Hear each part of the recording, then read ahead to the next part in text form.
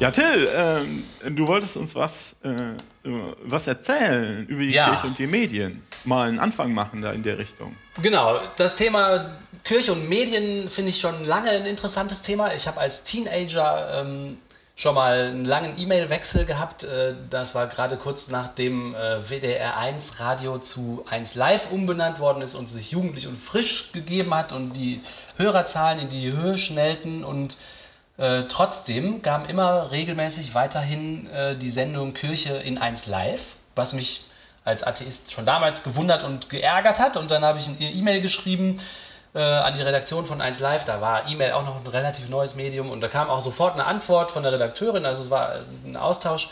Ähm, und ich habe halt gefragt, warum das sein muss, dass in dem öffentlich-rechtlichen Medium die Kirche da so einen prominenten Platz kriegt. Ähm, und zuerst wurde die Frage gar nicht verstanden. Als dann klar wurde, dass ich das kritisch meinte, dann war die Frau ganz aufgeregt und traurig, dass ich das nicht gut finde und konnte auch nicht mir richtig erklären, warum das eigentlich so ist, aber sie hat das sehr verteidigt, obwohl sie nicht genau erklären konnte, hm, woher das eigentlich kommt und warum das. Also sie hat halt so argumentiert, das gehört halt zu unserer Kultur dazu und das ist wertvoll und dass, wenn man das ab und zu den Leuten ein bisschen näher bringt, dann kann das ja nur Gutes heißen. Und meine Argumentation dass man halt Geld dafür bezahlt als äh, freier Bürger, auch wenn man nicht konfessionsgebunden ist, dann eine, eine, Propagandasendung von einer riesigen Sekte mitfinanziert. Das wollte sie alles nicht gelten lassen. So. Und also das ist praktisch das, wie ich in das Thema so ein bisschen reingekommen bin und dann habe ich mich lange Zeit nicht mehr damit beschäftigt. Jetzt ist dieser Podcast vielleicht eine gute Gelegenheit, da nochmal ein bisschen nachzuforschen und das habe ich versucht zu tun. Vielleicht ist es auch ein Thema, was ich über mehrere Folgen ziehen kann, weil ich glaube, man kann da beliebig viel äh, und, und, tief graben und ich finde es immer noch sehr interessant. Ähm, also ich fange mal so an, ähm, warum gibt es das eigentlich? Wie ist überhaupt das öffentlich-rechtliche Fernsehen in Deutschland organisiert? Wo kommt das denn her? Weil, also, das war mir auch nicht so richtig klar, deswegen versuche ich mal so einen kleinen Überblick zu geben. Es war ja nach dem Krieg klar, dass es kein zentral gesteuertes äh, Radio und Fernsehen mehr geben sollte. Also haben die Alliierten sich an dem Vorbild der BBC orientiert und haben gesagt, das ist ein gutes Ding, wenn man das so einrichtet, äh, dass die Fernsehsender, dass es halt die sogenannten öffentlich-rechtlichen gibt, die halt von öffentlicher Hand und von öffentlichem Recht auch begleitet sind, existieren, die aber mit Absicht so organisiert sind, dass sie staatsfern sind. Das hat unter anderem zur Folge, dass zum Beispiel in jedem das Bundesland. War, ich da, darf ich dazu ja, fragen, das ja. haben Sie am Beispiel der BBC? Ja, die BBC. Das ist äh, interessant. Okay. Ja, die BBC war ursprünglich ein privater Konzern, der gegründet worden ist, und dann haben die Engländer entschlossen, ähm, weil dieser private Konzern immer mehr von Interessen aus der Wirtschaft überflutet wurde. Und da haben die Engländer entschieden, dass das so wertvoll ist und so eine Reichweite hat, dass es eigentlich zu wertvoll ist, das in private Hand zu lassen. Und die haben das öffentlich, also öffentlich-rechtlich. Also gemacht. quasi die umgekehrte Richtung äh, äh, wie hier, ja, als hier. Ja. Und dann nach dem Zweiten Weltkrieg haben die Alliierten für Deutschland entschlossen, dass, die, dass das ein gutes Vorbild mhm. ist, ähm, dass man halt ein öffentlich organisiertes, äh, aber vom Staat fernes Medium schafft, mit ganz genauen Regeln. Ähm, und deswegen gibt es den sogenannten Rundfunkstaatsvertrag in Deutschland. Der regelt, wie das öffentlich-rechtliche Fernsehen und Radio zu funktionieren hat und der regelt auch, wie das private Radio und Fernsehen zu funktionieren hat. Ähm, für das öffentlich-rechtliche System ähm, verweist dieser Rundfunkstaatsvertrag auf die Landesrundfunkstaat, also Rundfunklandesverträge, die Landesrundfunkverträge. äh, das heißt, in jedem Bundesland ist das mit Radio und Fernsehen in, äh, öffentlich-rechtlich ein bisschen anders, aber vom Prinzip her gleich geregelt. Aber für die Privaten gilt halt dieser Rundfunkstaatsvertrag. Ähm, und in dem Rundfunkstaatsvertrag für die Privaten steht drin, dass die privaten Sender auf Wunsch den Kirchen freie Sendezeit einzuräumen haben, umsonst. Und also auf Wunsch der Kirchen. Auf Wunsch der Kirchen mhm. haben die Sendezeit zur Verfügung zu stellen, unentgeltlich und sogar, wenn den Kirchen Kosten dadurch entstehen, zum Beispiel beim Produzieren dieser Sachen, äh, sich auch noch daran zu beteiligen. Echt? Äh, ja. Das ist ja krass. Das ist super krass. Ähm, Können wir da auch? Geht es da auch um weltanschauliche Gemeinschaften? Können wir uns da jetzt mal auch mal melden mit unserem Podcast? Also da steht äh, eben nicht weltanschauliche Gemeinschaften, sondern da steht die katholische und die evangelische Kirche steht da drin, so wie ah. ich das verstanden ah, habe. Nur die also, beiden. Ja, genau, sehr spezifisch. Schön. Genau. Das gilt für die Privaten und da kann man ja sagen, okay, der Staat regelt, dass die Privaten denen so ein Fenster einrichten müssen, aber noch ärgerlicher finde ich es bei den öffentlich-rechtlichen, weil da bezahle ich ja den Obolus. Ähm, und da finde ich es noch ärgerlicher. Und da ist es halt, wie gesagt, in diesen Landesrundfunkverträgen äh, geregelt. Die sind alle, wie gesagt, ein bisschen verschieden. Aber die sind alle so, dass, ähm, dass es für die Rundfunkanstalten auch gilt, dass die Zeit zur Verfügung zu stellen haben. Ähm, auf Wunsch der Kirchen. Und das machen die auch fleißig. Äh, und die öffentlich-rechtlichen Fernsehanstalten gehen sogar noch freiwillig einen Schritt weiter. Und zwar äh, gibt es in allen von diesen Anstalten eine, eine, Redaktion und eine Arbeitsgruppe, die selber kirchliche Inhalte erarbeitet, erstellt und auch sendet. Also deswegen muss man unterscheiden von den Sendungen. Sind das kirchliche Inhalte im Sinne von konfessionsgebundener ja. Funk oder ist das äh, allgemein über Religion als gesellschaftliches Phänomen? Nee, es sind kirchlich gebundene christliche Inhalte. Ähm, die, Schön.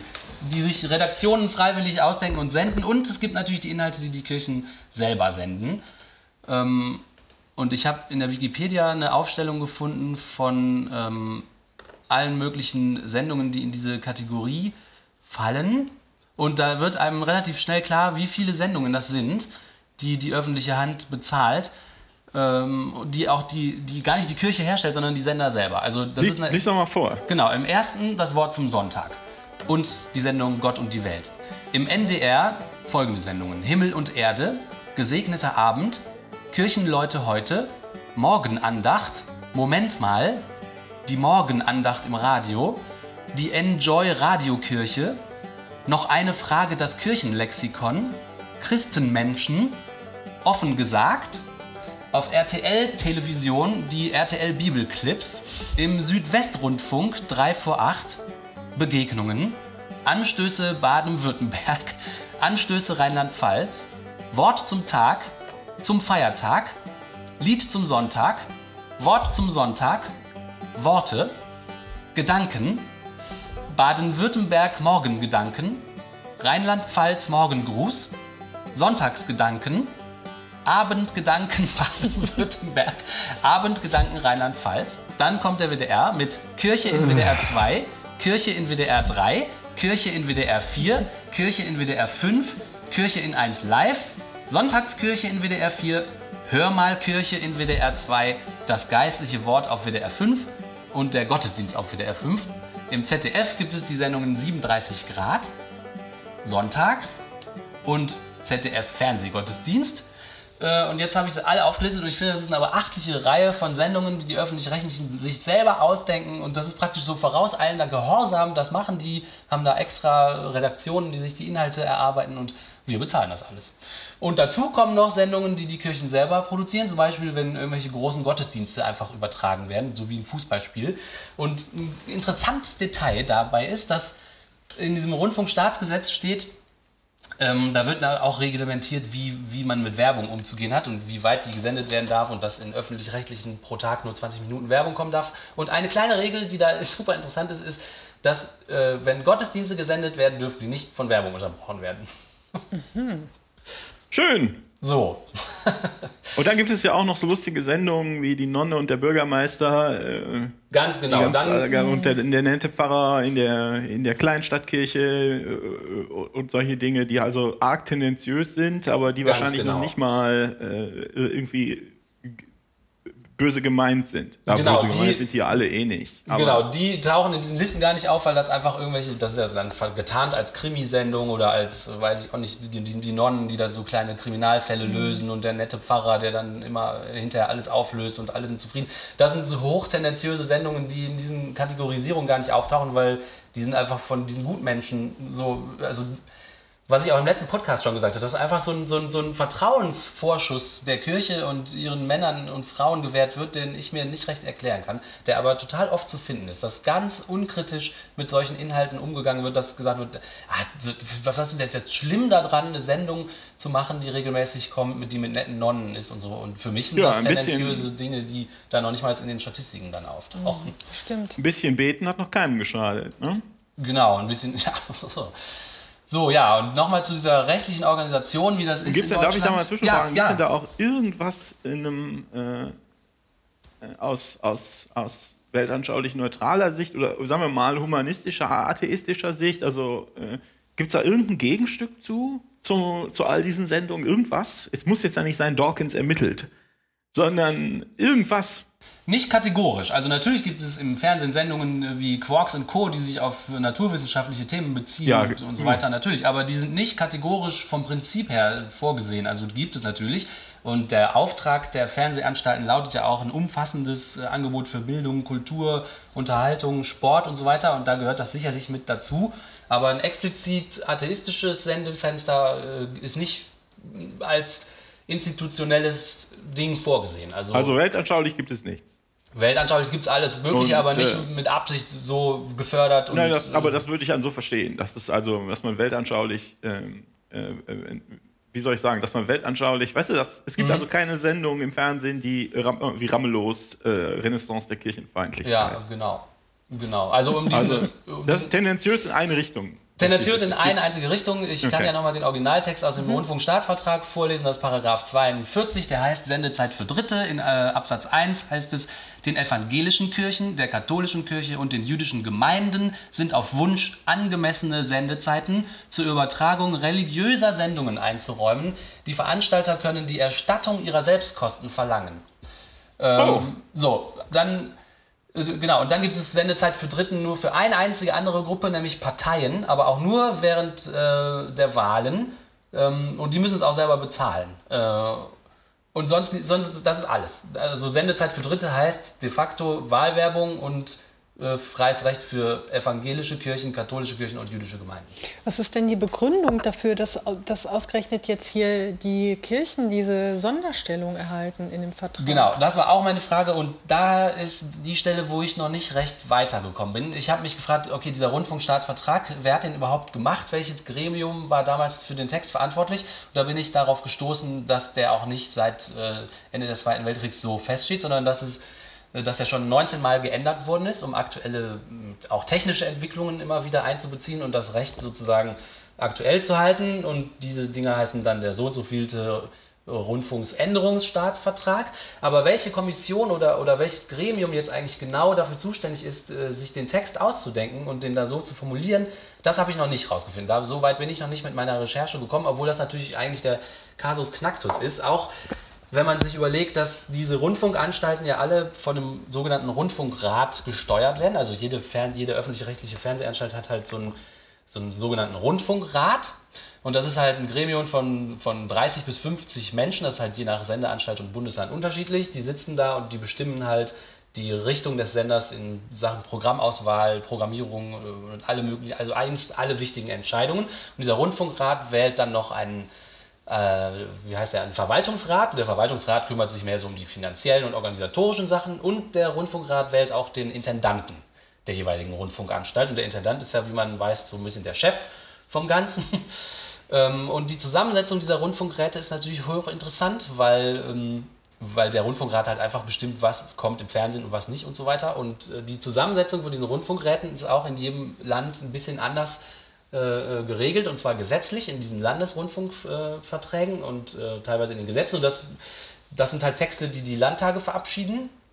Und äh, das ist immer ein bisschen unterschiedlich, wer dann da drin sitzt, aber es sind halt Vertreter aus der gesamten Gesellschaft. Also ähm, ähm, es kommen Leute aus den Parteien, die der Landtag dann entsendet. Äh, und zwar wird da, glaube ich, versucht, die, die ungefähren Mehrheitsverhältnisse im jeweiligen Landtag wiederzuspiegeln. Ähm, und dann gibt es Vertreter von den Gewerkschaften, von ähm, Arbeitgeberverbänden, Arbeitnehmerverbänden, dann ist der Deutsche Sportclub oder der Deutsche Sportverband oder wie der heißt da drin. Und, äh, und ganz fest ist immer ähm, mindestens ein katholischer Vertreter, ein evangelischer Vertreter und ein jüdischer Vertreter. Ähm, und das steht, und also diese Zusammensetzung ist so, dass da steht relativ fest drin, also wie viele Sitze da wer hat. Und dann gibt es bei den meisten Rundfunkräten noch so ein Passus, da steht drin, okay, sieben können sich bewerben von irgendwas und der Rundfunkrat entscheidet dann, welche sieben Bewerber genommen werden, sodass halt auch noch andere Institutionen theoretisch die Chance hätten, da reinzukommen. Und drei werden, äh, drei Plätze werden noch gewählt, ich glaube, vom Landtag.